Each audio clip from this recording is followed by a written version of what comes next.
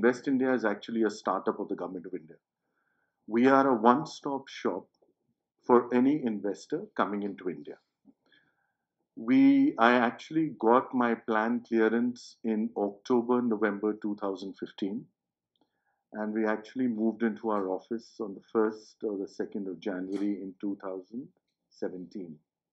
So, in many ways, you can call me either 18 month old or you can call me 30 months old. Uh, as the official National Investment Promotion and Facilitation Agency, we provide complete comprehensive services which start from identifying an opportunity to helping them create their business strategy and plan for India.